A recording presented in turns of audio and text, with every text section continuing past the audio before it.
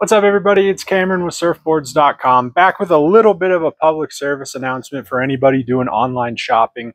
Uh, we're fully aware that returns are a very real thing in the online shopping world, and we try to make that process relatively painless for customers. So if you don't like something, you can get it back to us for a refund.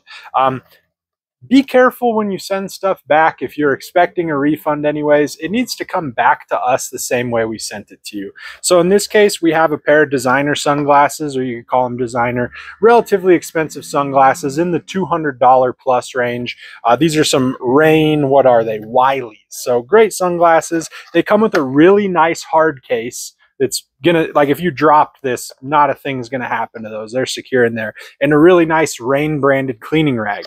Uh, this person unfortunately did not send back either of those things. Not sure how good you can see in there. They just sent back plastic bag with loose sunglasses in it. So it's a $200 pair of sunglasses that we unfortunately cannot resell uh, as they don't come with the protective case that Raen sells with every one of their pairs of sunglasses. So um, unfortunately, in this case, you know, we're not going to be able to refund the customer because they sent us back something that we can't return. So uh, returns can be very easy. Do yourself a favor and just send back everything that you got makes it easier all the way around. So there's your public service announcement for the day. Careful with your returns. If you're expecting a refund, make sure to ship them back in reasonable shape.